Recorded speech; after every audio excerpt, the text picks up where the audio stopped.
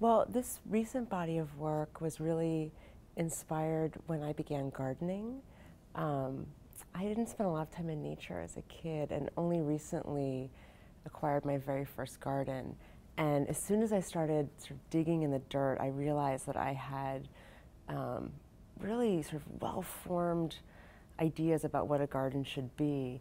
And it struck me that none of those ideas came from nature, they all came from books.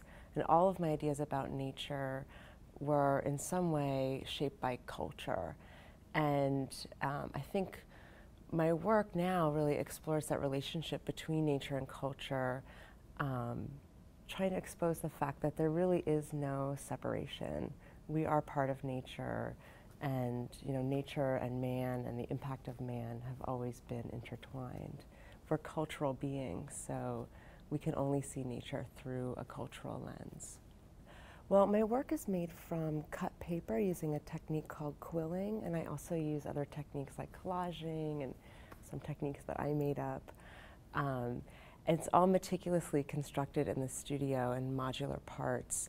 And then once I came on site, I unpacked a 16 foot truck full of paper components and built the installation on site. Um, and I thought of the show as sort of like a garden tour through different periods of garden design, all designed specifically for the rooms here at the Art Center. The work is made from paper and charcoal and also a reflective black plexiglass.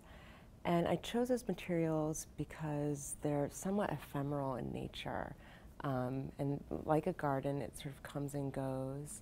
And the paper has a very kind of temporary feel but it's still able to create this moment of bloom that sort of extends um, for a while and then dies back. Um, and the paper and the charcoal together, they're forever possible that the charcoal will ignite the paper. The paper is very meticulous, it's very laborious, and the charcoal is a little bit messier. It's something that's actually from nature. Um, and I like the tension of those two materials together. People always ask about the monochromatic black palette that infuses all of my work.